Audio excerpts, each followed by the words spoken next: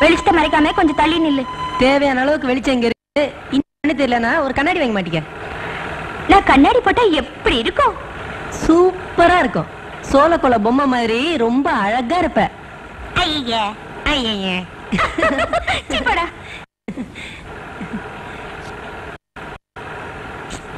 கொஞ்சம் தள்ளி நில்லு பாபு. பாபு அந்த பக்கம் தள்ளி வேலையை கெடுக்காத.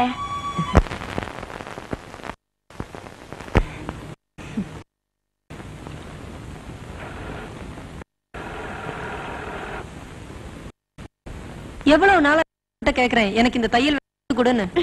டெய்லரிங் படிச்சுட்டு என்ன செய்ய போற? டெய்லர் ஷாப் போறியா? என்ன கிண்டல் பண்றியா? சின்ன வயசுல இருந்து எனக்கு என்ன ஆகணும்னு ஆசை தெரியுமா? ஒரு தையல்காரன் ஆகணும்னு. ஓ இப்ப யாராகணும்னு ஆசைப்பட? இப்போ இப்போ சொல்ல.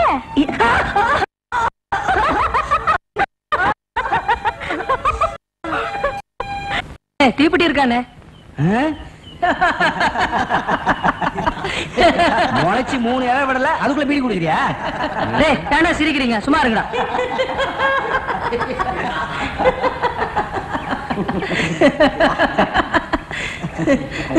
கோழிக்காரா தீப்பெட்டி இருக்கா? தீப்பெட்டி தானே? இத புடி. ஐயோ. டேய் கோழி வேணுமாடா? நல்ல கோழிடா போண்டா கோழி. டேய் வாய திறடா. ஹா அப்படியே போ.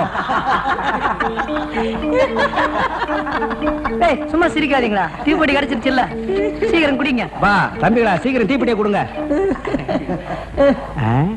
இந்தா நீயே வச்சுக்க. கடைசியில என் வாயில வச்சுட்டானே தீப்பெட்டிய ஆ.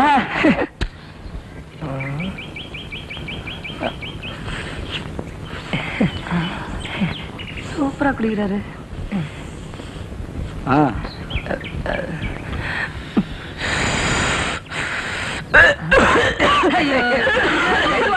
மெதுவா குடி. அவசரப்படாத. முதல்ல இப்படிதான் இருக்கும். ஆ. குடி. ம் குடி.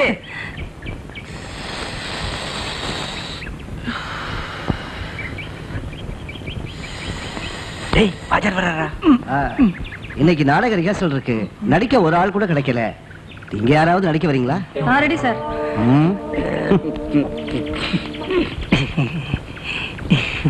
ഉൾവാലിലെ മുത്തു പെണ്ണല്ലോ. മുത്തു വന്ന് മുത്തം കൊടുത്തല്ലോ.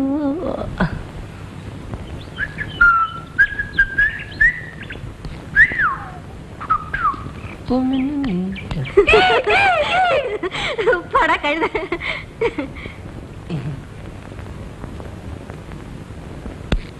ബാബു. இவ்வளவு நேரம் எங்கடா போயிருந்த? லைப்ரரிக்கு. அங்க ஆண்டு விழாக்கு இன்னும் ரெண்டு வாரம் தான் இருக்கு. நான் நாடக ரிஹர்சலுக்கு போறது இல்லைன்னு வாத்தியார் ரொம்ப திட்டினாருமா அதான் போனேன். டேய் நில்லுடா. வாய தர.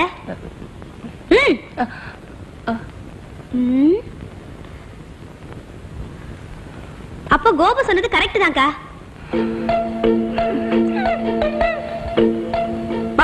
நீ ரொம்ப கெட்டு போயிட்ட. டேய் பாபு நீ சிகரெட் குடிச்சியா? ஐயோ இல்ல. இல்ல சின்னம்மா. இல்லையா? என்கிட்டயே போய் சொல்றியா? பெரிய பையனாச்சுன்னு கூட பார்க்க மாட்டேன் காலை உடைச்சு ஊர் சுத்த முடியாது பண்ணிடுவேன் ஜாக்கிரதை. சரி சரி. முதல்ல உங்க அப்பாவுக்கு லெட்டர் எழுதணும். இங்கே இப்படின்னா ஹாஸ்டலுக்கு அனுப்புனா என்ன செய்ய போறியோ? நீ தானே இந்த வீட்டுக்கு பெரிய பையன். உன்னை பார்த்து மத்தவங்களும் கத்துக்க மாட்டாங்க. ஞாபகம் இருக்கட்டும். போடா உள்ள.